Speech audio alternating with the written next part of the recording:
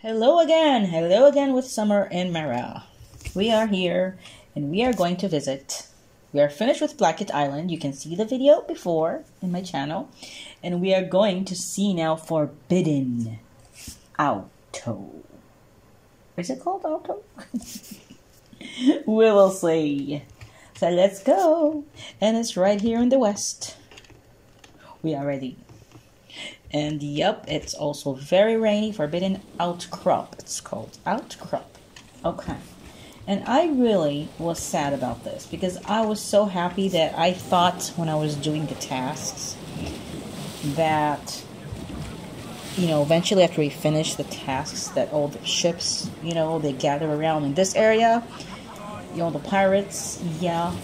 I really thought this place was going to be open and we can go inside and see the cute village but unfortunately it doesn't open. So that was kind of really upsetting for me. So I really want to go see these cute little houses in there. You know, you can hear like noises and it just it's just like an island, you know? It's like all closed up. Well, why would you put a big stones with hidden houses inside and we can't go in? You know, it makes us mad. You cannot get out of your boat, basically, in this island. But there is a fishing area. So I guess they only had this place just for gathering the ships all over. Yeah, it's like a secret place or something. Not for us, but the only thing here is, yeah, you can go fishing. And you can enjoy the, the rain and the waves because it's always waves and it's always rain. And yeah, okay, you can go to sleep. Enjoy your nap. Because this is going to be a short video. It's really short, this island. And so, this is the kind of fish that you can get. I have to leave again and come back because she slept. Okay. Let's see. See? And because I don't have thread, unfortunately, you need thread. So you can go fishing and then you can get this kind of fish. And I think I have this kind of fish in my inventory. So let me show it to you. And it's the swordfish. It does look like it, right? So I got one right here.